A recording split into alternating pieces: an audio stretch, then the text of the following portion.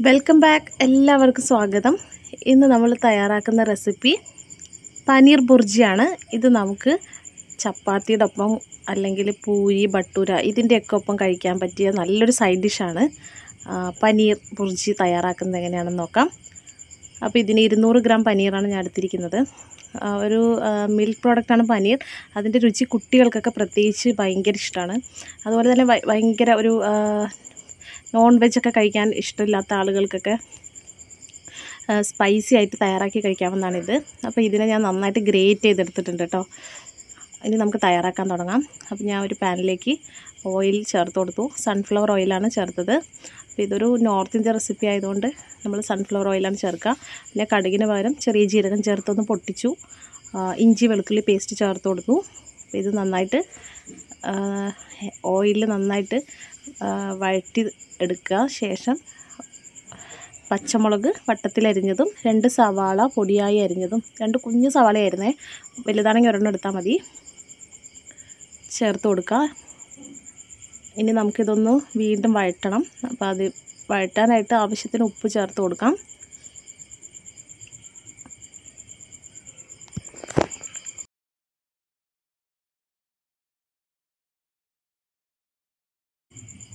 അപ്പോൾ വഴന്ന് ഇതുപോലെ ചെറുതായിട്ട് കളറൊക്കെ മാറി വരുമ്പോൾ ഒരു തക്കാളി ചെറിയ കഷ്ണങ്ങളായി അരിഞ്ഞിട്ട് ചേർത്ത് കൊടുക്കാം. വീണ്ടും മിക്സ് ചെയ്യുക തക്കാളിയൊക്കെ നന്നായിട്ട് ഉടഞ്ഞ് കിട്ടുന്നവരെ വീണ്ടും നമ്മളിത് നന്നായി വഴറ്റി കൊടുക്കണം. അപ്പോൾ ഇതാ തക്കാളിയൊക്കെ ഇപ്പോൾ നല്ല സോഫ്റ്റായിട്ട് വന്നിട്ടുണ്ട്. ഇനി നമുക്ക് ഇതിലേക്ക് പൊടികൾ ചേർത്ത് കൊടുക്കാം. ഒരു അര ടീസ്പൂൺ മുളക് പൊടി അര ടീസ്പൂൺ മഞ്ഞൾപ്പൊടി അതുപോലെ തന്നെ ഗരം പൊടി. ഇത്രയും പൊടികൾ മാത്രം നമ്മൾ ഇതിലോട്ട് ചേർക്കുന്നുള്ളൂ. വേറെ പൊടിയൊന്നും ചേർക്കുന്നില്ല കേട്ടോ. വേറെ പൊടിയൊക്കെ ചേർത്താൽ വല്ലാതെ ആ, പൊടിയുടെ ഒരു രുചി മാത്രമായിരിക്കും നിൽക്കുക. അപ്പോൾ പനീർ കഴിച്ചവർക്ക് അറിയാൻ പറ്റും. അതിന്റെ ഒരു സോഫ്റ്റ് ആയിട്ടുള്ള രുചിയാണ്. മസാലയൊക്കെ ഒരുപാട് ചേർക്കുന്ന സമയത്ത് അതിന്റെ രുചി നമുക്ക് പോകും. അപ്പോൾ അത്യാവശ്യം ഈ ഒരു പൊടികൾ മാത്രം ചേർക്കുന്നുള്ളൂ.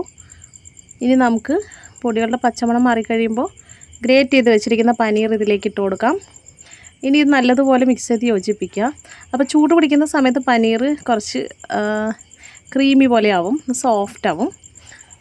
അത് കുഴപ്പമില്ല. നമുക്ക് സൈഡ് ഡിഷായി കഴിക്കുമ്പോൾ നല്ല പെട്ടെന്ന് നമുക്ക് വായിൽ നിന്ന് ഇറങ്ങി പോകുന്ന ഒരു ഫീലായിരിക്കും ഉണ്ടാവുക. അപ്പോൾ മസാല എല്ലായിടത്തും നല്ലതുപോലെ മിക്സ് ചെയ്ത് കൊടുക്കുക.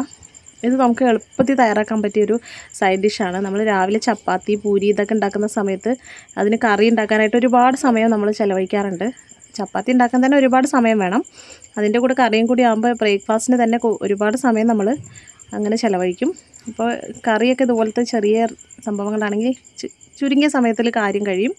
അപ്പോൾ ഇതാ കണ്ടില്ലേ മസാലയൊക്കെ നന്നായി മിക്സ് ചെയ്തെടുത്തപ്പോൾ ഈ ഒരു രൂപത്തിലാണ് നമുക്ക് കിട്ടിയിട്ടുള്ളത്.